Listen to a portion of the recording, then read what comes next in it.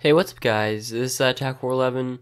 This is my full review of some cases from Diztronic for the Samsung Galaxy S5. Here I do have all of the models of the matte back TPU version of these cases. I'm going to go through each of these four cases because they all have a bit of a different personality to them. I'm going to show you which one you might like. So I'm first going to start with the regular black model and this is a really nice case. I've always been a big fan of Diztronic cases for any device, whether it be HTC One or iPhone or uh, Nexus 5. I've always liked them for their simplistic design, great build, feel in the hand, affordable price tag, and an overall thin design but still a lot of protection. In this case, it's exactly that. It's made of a very soft, matte rubber material that really feels great in the hand. It's smooth, it doesn't really get scratches or fingerprints.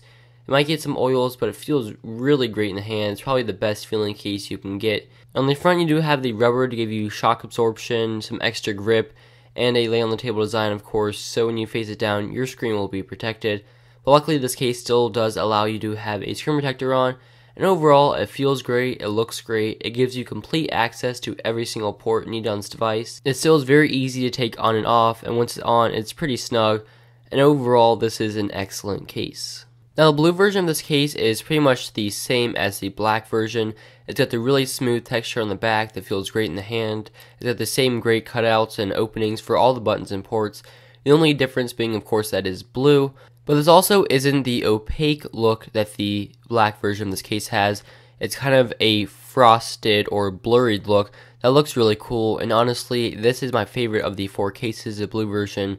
It could be for a guy or a girl, it still gives you complete access to everything, and it still feels great in the hand. Now taking a look at the pink glitter flex, and you can see this is a lot different of a case. You see on the back, instead of that really smooth rubber type TPU matte feeling, this is more of a glossy but extremely grippy material that will get some smudges and fingerprints and reflection. But like I said, it will give you a lot more grip and it feels a little bit more sticky and kind of tacky in the hand. It won't give you the same smooth feeling, but it'll give you some more protection because of that tackiness.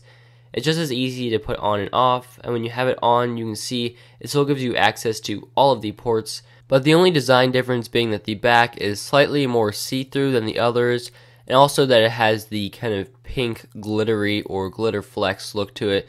That if you're a girl, I think it'd be a pretty cool look. As a guy, you know, pink isn't really for me, and it's really a kind of bright, vibrant, hot pink color.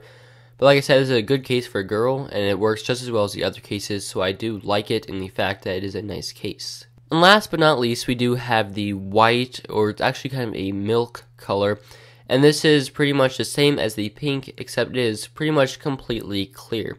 Now it does have a slight kind of frosted or milky uh, glow to it, but it pretty much is 100% translucent or transparent. As you can see, the Samsung logo, it's got a tiny, tiny bit of a uh, a fuzzy look to it. But like I said, it's almost 100% see-through. And this got the same stickiness of the pink case, so it'll give you a lot of grip and a lot of protection. But it's got the same thinness, the same open cutouts, and the same great overall design and protection of all four cases. So these are really probably one of my favorite cases for the Galaxy S5.